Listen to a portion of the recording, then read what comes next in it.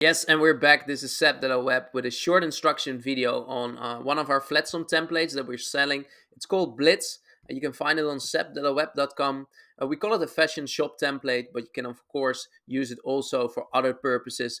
It's just a very minimal uh, looking template that is focused on uh, showing the products in the best way possible. Um, the thing what I'm going to show you today is how to set up the menus nicely on the left and the right and having these custom drop downs as well. When you scroll all the way down, we're having a custom footer, including some navigation links and even some uh, copyright links uh, down below in the absolute footer.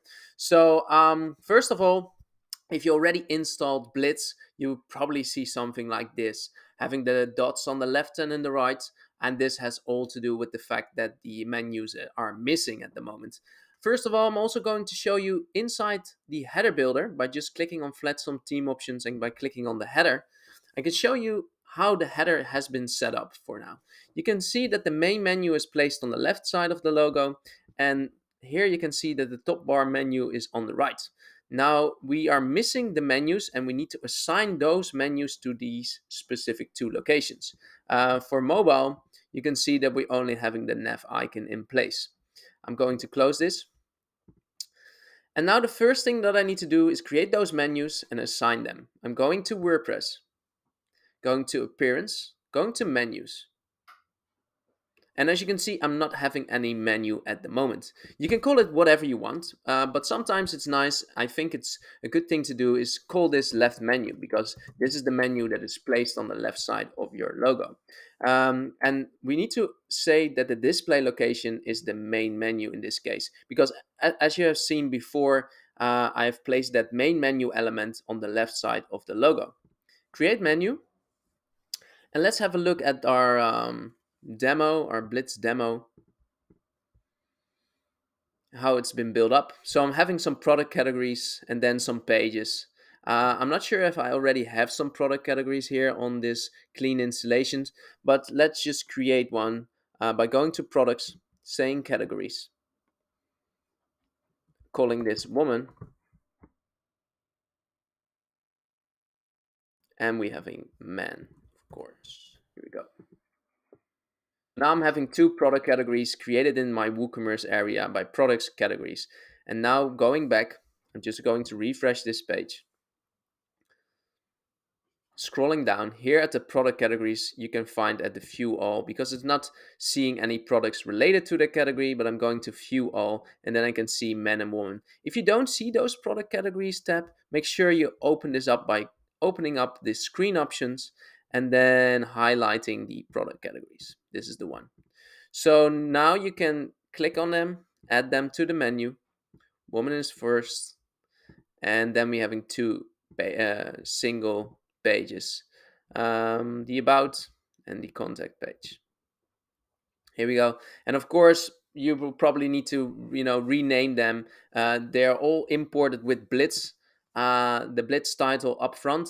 And we have chosen to go forward with this because we want to make a separation between your pages and our pages. And if you have bought the All Access Pass, you can even import all our other template pages and then really try some things out. Um, but now let's also maybe rename them. Not, um, you know, making the title of the page just about. And I'm not sure because I don't really are familiar with the Gutenberg editor but um, where can I find the permalink? Here. And, and it's already set to about, so it's not saying Blitz, so that's okay. Hope you're still getting me, but I'm just taking out that Blitz name. And now when I refresh, let me just save the menu.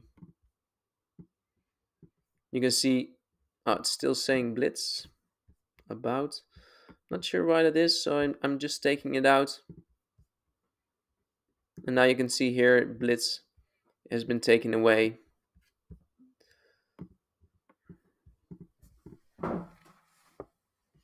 And I can do the same for contact, of course. Going back, going to contact.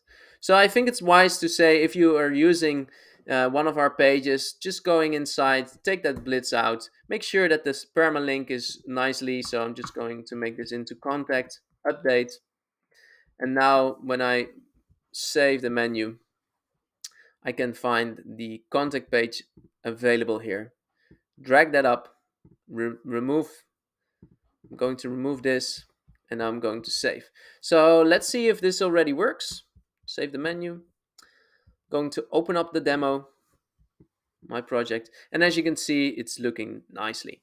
Um, now the next thing what I wanted to show you is how to set up those um, drop-down menus.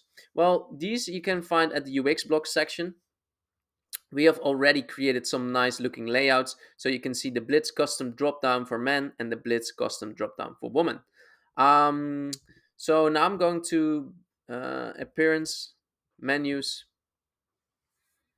and here i'm going to open up woman saying that the default design needs to be uh, a, I think we're working with a container width no i think a custom width custom size and let's say we are making this about 500 pixels and we're going to select that custom drop down for woman. I'm going to save that. I'm going to refresh this and let's see how it looks. So it looks already nice, but I think we're missing some space. So I think we need a little bit more. Instead of 500, let's make it 700.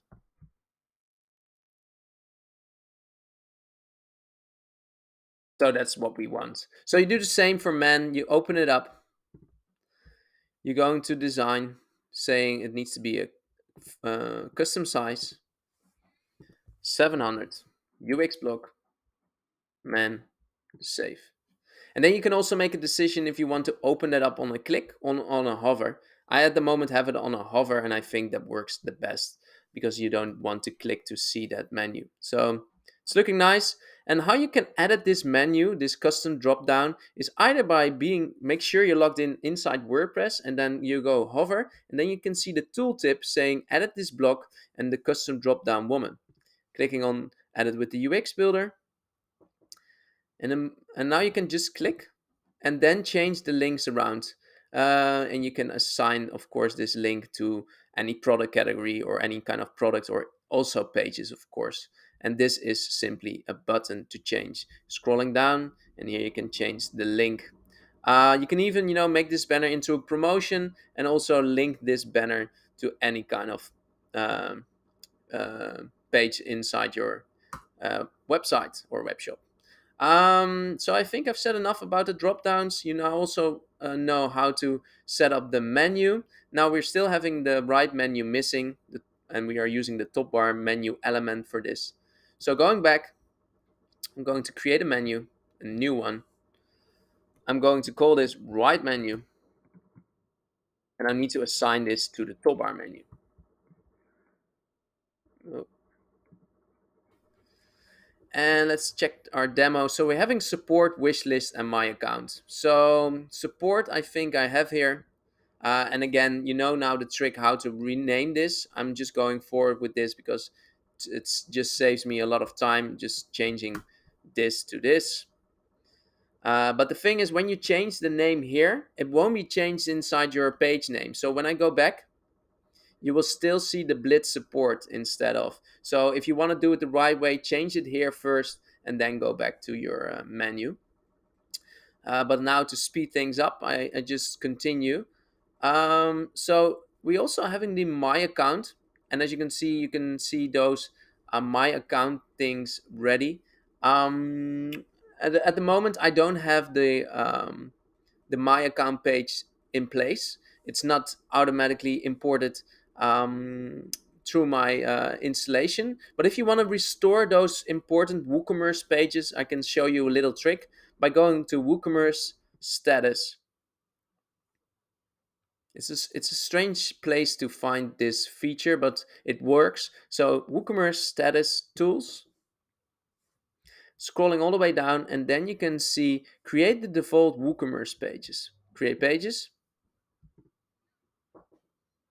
And now by going back to pages, you can find those important pages like the cart, the checkout, the My Account. So now I'm also able to add that My Account page to the right menu. So I will do that, my account.